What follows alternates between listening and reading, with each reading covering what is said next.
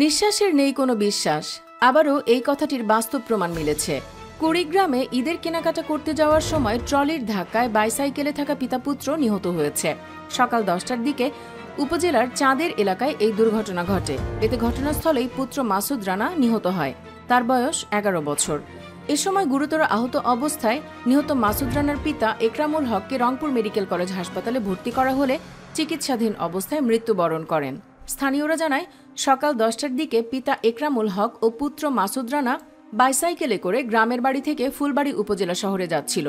পিতা পুত্র ফুলবাড়ি নাগেশ্বরী সড়কের চাঁদেরহাট এলাকায় পৌঁছালে একটি ইট বোঝাই ট্রলি নিয়ন্ত্রণ হারিয়ে তাদের ধাক্কা দেয়। এতে ঘটনাস্থলেই পুত্র মাসুদ রানার মৃত্যু হয়। পরে গুরুতর আহত অবস্থায় পিতা একরামুল হককে রংপুর মেডিকেল কলেজ হাসপাতালে ভর্তি করা হলে বিকেলে তিনিও মারা যান।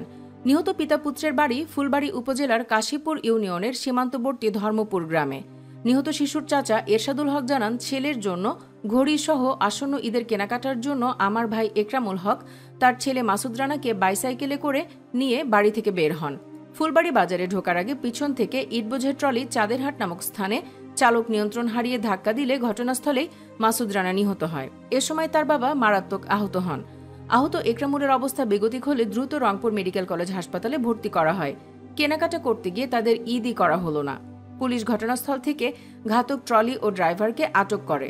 ট্রলি ড্রাইভার নাগেশ্বরী উপজেলার এগারো মাথা গ্রামের হজরত আলীর ছেলে মোকসেদুল। নিহতদের জন্য তার পরিবার দোয়া চেয়েছেন। আল্লাহ তালা তাদের সকল ভুল ত্রুটি ক্ষমা করে তাদেরকে জান্নাতবাসী করুন। আমিন। দর্শক, কমেন্টে আপনিও আমিন লিখে জানিয়ে দিন আপনার অনুভূতি।